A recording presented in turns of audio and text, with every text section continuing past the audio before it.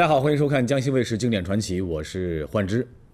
说起世界乐坛当中曾经最受欢迎的流行音乐之王，你会想到谁呢？当然是画面当中的这位迈克尔·杰克逊。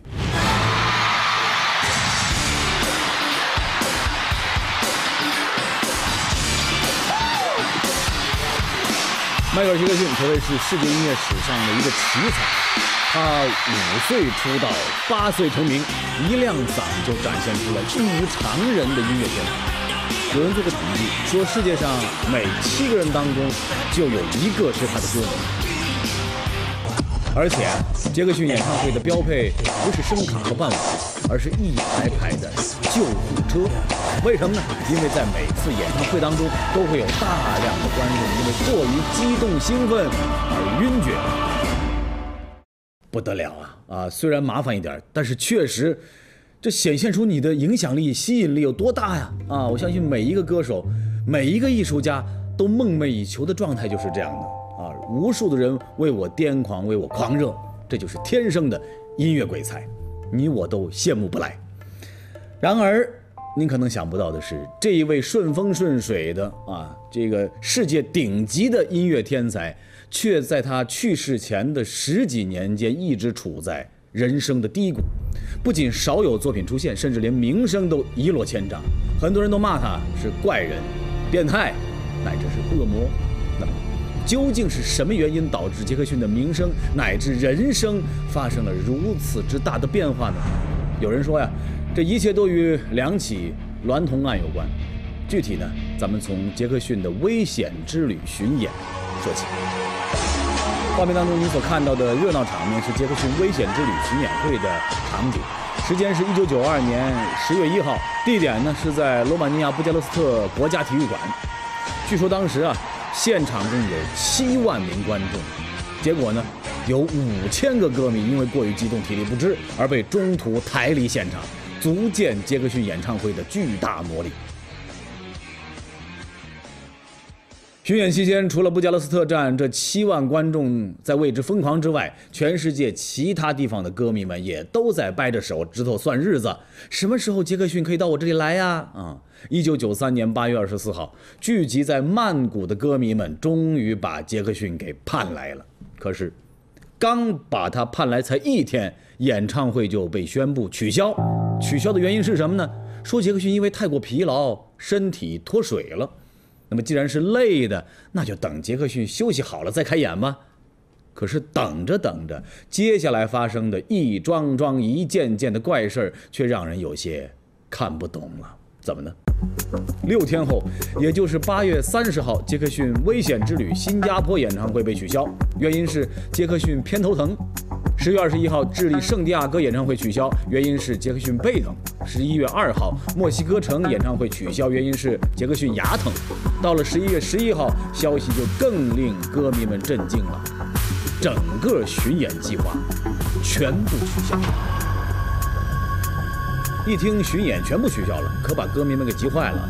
我们的杰克逊怎么了呀？是得了什么重病吗？就在歌迷们着急上火的时候，杰克逊终于出来做解释了。他说呀，由于受到不公正的指控，我患上了药物依赖症，只好停演接受治疗。指控？谁的？什么指控啊？就是画面当中的这个男孩，名叫乔迪·钱德勒，当时才十三岁。他呢指控杰克逊什么呢？说出来你可能不信，他指控杰克逊对他实施了性侵犯。这个罪名太诛心了啊！如果罪名成立的话，杰克逊可能会身败名裂。那么，杰克逊与这个十三岁的男孩之间到底有了什么问题呀？事情得从杰克逊的梦幻庄园说起。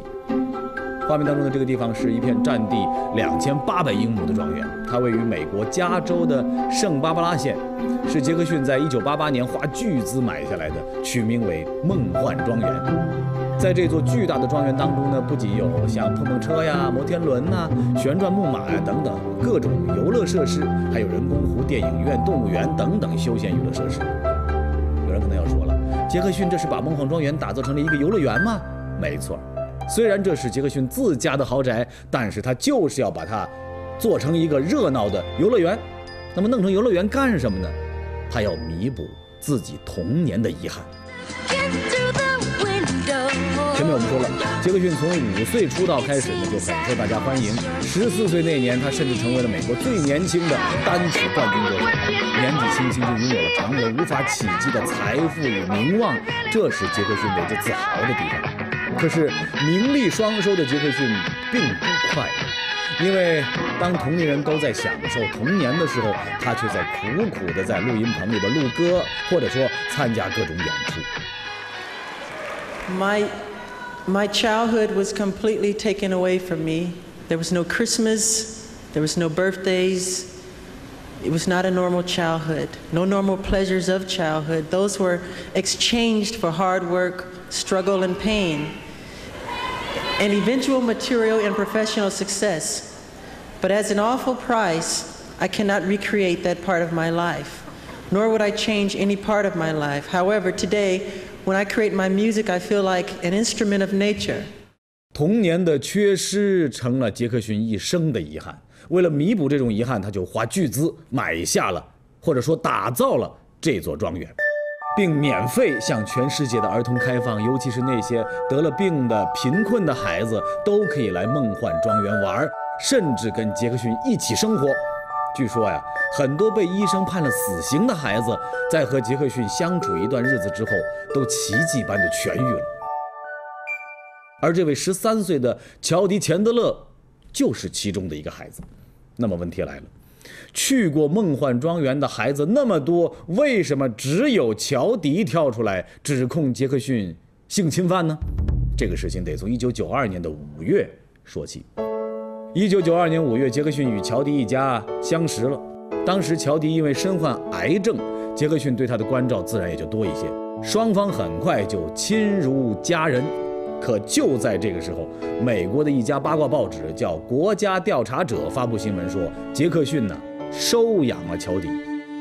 按说乔迪到底有没有被杰克逊收养，他的父母自己清楚不就完了吗？可是这种公诸于众的收养说法。却让孩子的父亲埃文·钱德勒开始吃醋了。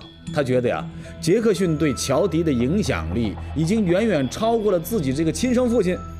加上后来又有媒体报道说，杰克逊经常跟孩子们躺在一张床上睡觉。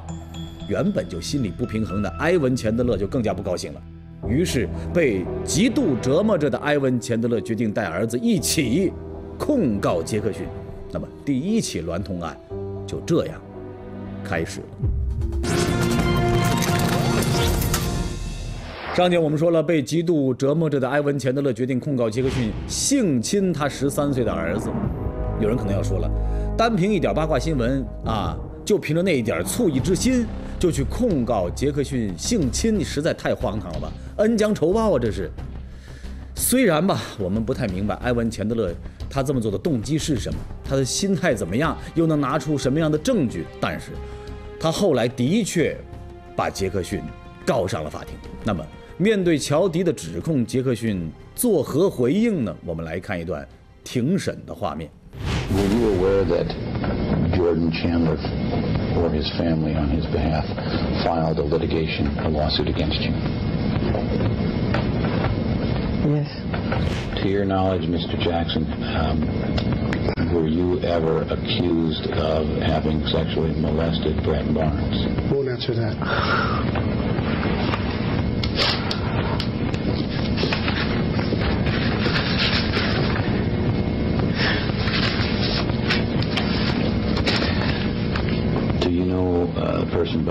Macaulay Culkin?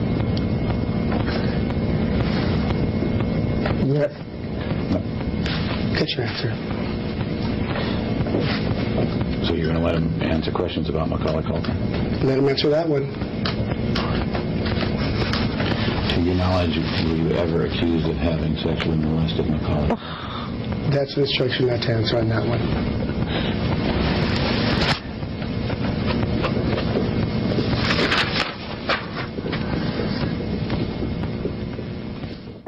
通过画面我们可以看到，面对指控，杰克逊只是一个劲儿的摇头苦笑。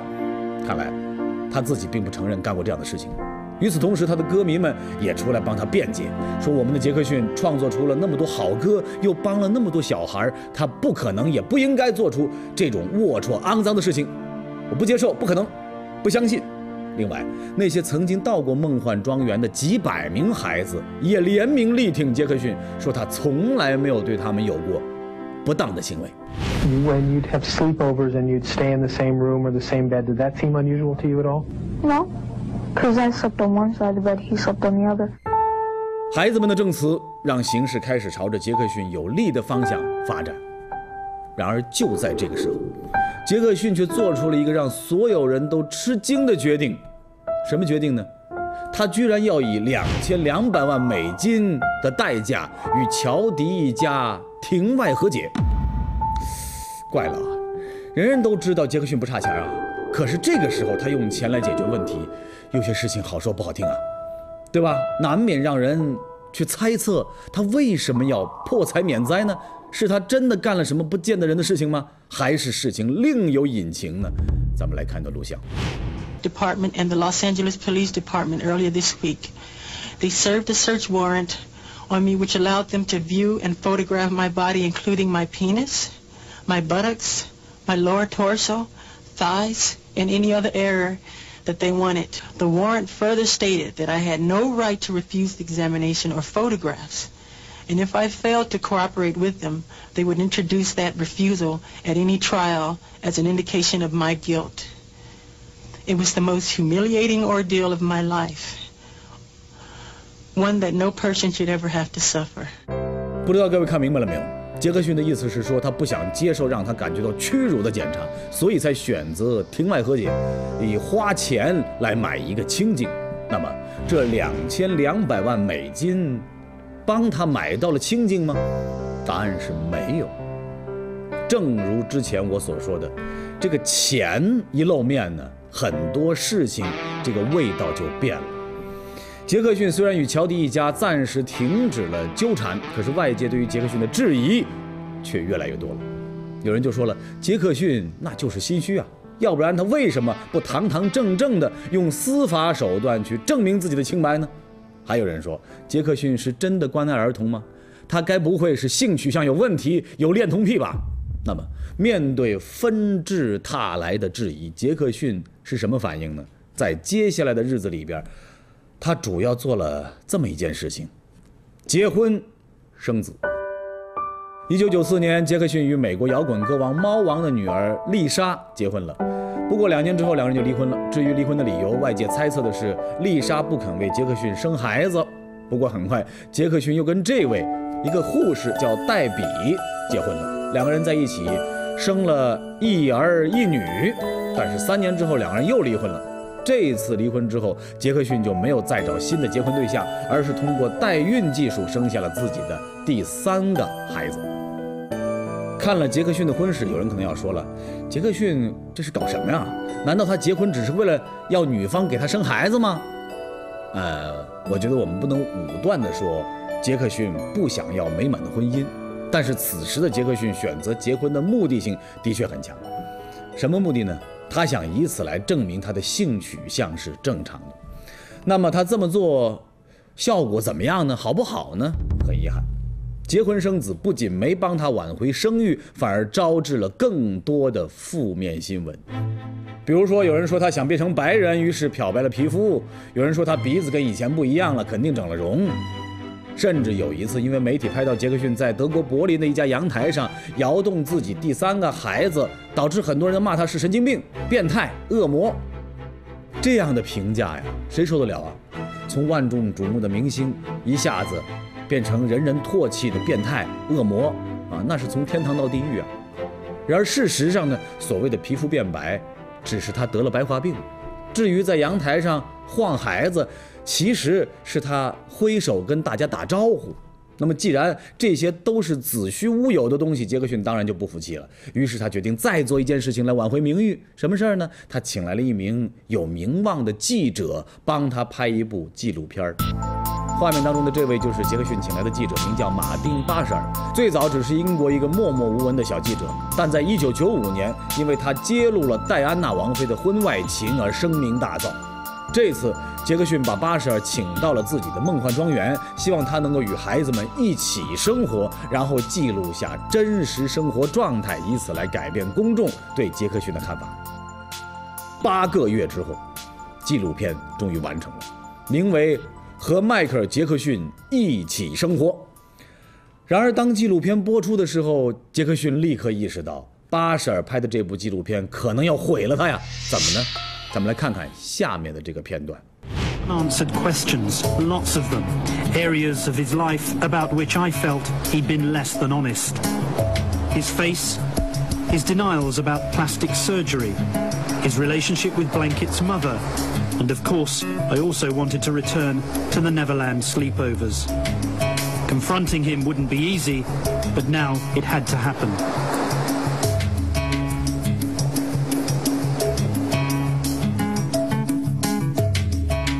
As we prepared for the interview, the atmosphere was unusually tense. This time, Jackson had flown in his own lighting expert. Maybe there was a reason for that. Cosmetic surgery was to be the focus of some difficult questions. 不知道您看了这段之后会作何感想？巴什尔这些话，在我看来，不仅没有帮杰克逊澄清什么问题，反而把杰克逊神秘化、复杂化，甚至虚伪化了。而且您注意了，在这部纪录片当中，还有其他一些地方，在杰克逊看来也不符合实际。比如说，杰克逊每次带儿子和女儿出现在公众场合的时候，都会让他们戴上面具。巴什尔就在纪录片当中说，杰克逊这是过度保护孩子，而且过度保护孩子这件事情严重影响了杰克逊跟前妻黛比之间的关系。总之，这是一部让杰克逊失望的纪录片。他甚至隐约能感觉得到，片子播出之后啊，自己可能再次被推上风口浪尖。果然，没过多久，杰克逊就又摊上官司了。怎么说呢？在纪录片当中有这么一个故事，说有一个叫做加文·阿维佐的男孩被诊断患有晚期的癌症，医生说他活不过三个月了。为了不留遗憾，加文希望死前能够见杰克逊一面。在爱心人士的帮助之下，加文最终见到了杰克逊，而且他还创造了生命的奇迹。在与杰克逊的相处过程当中，加文身体里的癌细胞啊竟然不见了，身体康复了。本来事情就这么简单呢，而且还是件好事儿。可是巴什尔在报道当中却把重点放在了加文与杰克逊的关系上，尤其是多次提到两个人一起同房过夜。你这个事情，我觉得这就是没事挑事儿啊，啊，这就让事情变得复杂了。上节我们说了，巴舍尔在剪辑制作有关杰克逊与加文的故事的时候，将焦点放在了两个人的关系上，尤其是不停地结合画面，暗示杰克逊和嘉文一起同房过夜。Children from other families have come and they've stayed in your house. They've stayed in your bedroom. And well, very few. But, you know, some have.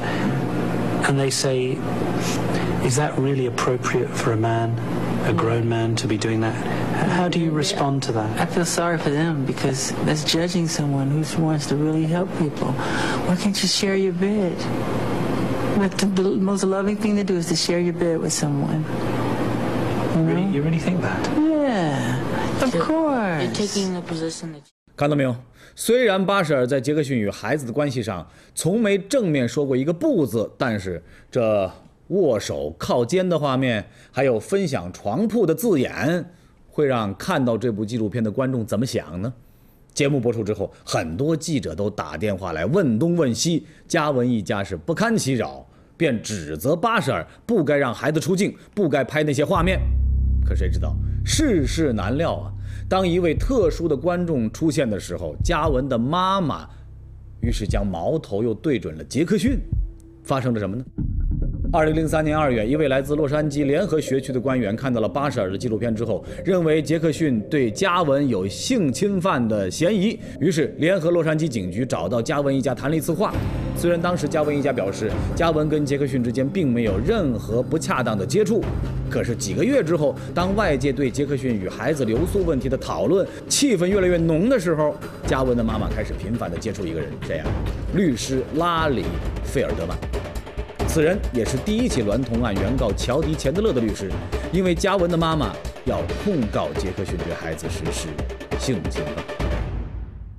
本该为杰克逊证明的纪录片，却给他招来了一场新官司，这可把杰克逊给气坏了。愤懑之下，他打算反击。首先，他要反击巴舍尔。如何反击呢？说来也巧哈，杰克逊他本人当然还有这个私人摄影师嘛，专门负责记录他参与的每一个重要事件。那么这次接受巴舍尔的采访，制作纪录片这个过程，杰克逊呢也让摄影师全程跟拍。Just wanted to clarify that um, is not it, it was not a secret video. Saw me, you know, hooking up the camera, and um, you know everybody saw the camera up there, and we were just rolling it. 通过对比视频资料，杰克逊找到了巴舍尔第一个前后矛盾的地方。在纪录片当中，巴舍尔说，梦幻庄园是一个令人不安的地方，弱势儿童去那里非常危险。但当着杰克逊的面，他却对梦幻庄园赞美有加。The problem is, you see, nobody, nobody actually comes here and sees them. But I was here yesterday and I saw it, and it's nothing short of a spiritually kind thing. 除了这些视频资料之外，杰克逊的前妻黛比也出来帮他辩解。黛比自从跟杰克逊离婚之后呢，常年深居简出，一直远离公众的视线。这次他鼓足勇气站到公众面前，主要是为了帮杰克逊澄清巴舍尔在父子关系以及夫妻关系上对杰克逊的一些说法。That was my request, not his. Michael's very proud of his children. I'm the one who's terrified. I'm the one who's seen the notes. That someone's going to take his children. They're not. They're not. For two reasons. One, I'd get followed. Two, I'd have to look at crap on the newsstand that are right as the, at the register as you go out that wasn't true. You know, I, I, I, I wasn't used to it. I like doing things for myself. Um, Michael's more than generous. He said, we don't have to go to the grocery store. But I want to. I really want to. I want to go back to what I can go back to. That was what I was used to. That's where I'm comfortable. 事情发展到这儿，各位应该明白了，巴舍尔这个所谓的名记者，根本就是一个来者不善的投机者。可是据了解，巴舍尔与杰克逊往日无怨，近日无仇啊，他为什么要陷害杰克逊呢？杰克逊认为，巴舍尔啊，可能在为别人办事。Money. Somewhere greed got in there and somebody, I, I can't quite say, but it has to do with money. It's Michael Jackson. Look what we have here. We get money out of this. That's exactly what happened. 针对巴舍尔背后的主使者，杰克逊虽然没有明说，但是他是有明确的怀疑对象的。谁呀、不是一个人啊，而是索尼公司。那么，索尼公司为什么要在杰克逊的背后放冷箭呢？答案是商业利益。当时杰克逊已经不单是一个唱歌跳舞的艺人，同时还是美国音乐界最有权势的人之一，因为他拥有索尼公司百分之五十的股份，掌握着披头士、猫王、席琳迪翁啊、麦当娜等等超级头牌明星的歌曲版权。杰克逊每年能从中获得数千万美元的收益，但是索尼无法容忍一个艺人比他们更聪明。担心杰克逊一旦离开单飞，那将是一个强大的竞争对手，所以公司曾经多次提出向杰克逊购买版权，但是都遭到了拒绝。于是公司开始想办法拖垮杰克逊，逼迫他破产，进而出卖手中的版权。而也正在这个时候，公司发现杰克逊接受了巴舍尔的采访，于是就利用拍片子的机会下手。当然，这一切都只是杰克逊的猜测。究竟有多少公司或者个人出于眼红、贪婪，亦或是直接的利益，想要杰克逊出事儿，我们也不得而知。但是不管怎样，杰克逊至少向外界说明了一点：巴舍尔拍的这部纪录片有歪曲事实的嫌疑。但是事情发展到这儿，杰克逊还不能歇息，停不下来。您别忘了，嘉文的妈妈还等着杰克逊在法庭上见面呢。那么，针对第二起娈童案，杰克逊是如何应对的呢？这一次，杰克逊没有选择破财消灾，而是等到了最后的宣判。二零零五年六月十三号，耗时近两年的第二起娈童案终于有了结果，法庭宣判杰克逊无罪。无罪宣判的那一瞬间，不仅杰克逊如释重负，就连支持杰克逊的美国民众都激动得为之欢呼雀跃。然而，官司是结束了，可是很多人却提出了一个疑问：在过去的那些年中，美国对于性骚扰案件几乎是没有什么兴趣的，怎么到了杰克逊这儿却是热情大增呢？即使是证据不充分，检察官们都坚持要提起公诉。那么，这种反常的背后是否暗含着更大的秘密呢？有人说，第二起娈童案或许也是美国当局用来为一场战争打掩护的伎俩。此话又怎讲呢？翻开2003年的大事记，就在法庭传唤杰克逊的时候，美国发动了伊拉克战争。这是一场很多人都反对的战争，所以当局迫切需要另外一件事情来转移公众的视线。纵观当时的社会状况，影响力巨大的杰克逊正好就遇到了麻烦。当局开始推波助澜，并成功将杰克逊以及娈童案推上了风口浪。等到当局发动战争的目的完成之后，杰克逊呢也就被无罪释放了。这么说，第二起娈童案，不管是进入立案侦查，还是最终的判决结果，那人为操作的痕迹都很重啊。那么，杰克逊到底是不是清白的呢？二零零九年六月二十五号，时年五十岁的杰克逊猝然离世，而就在他去世后的第四天，第一次娈童案的原。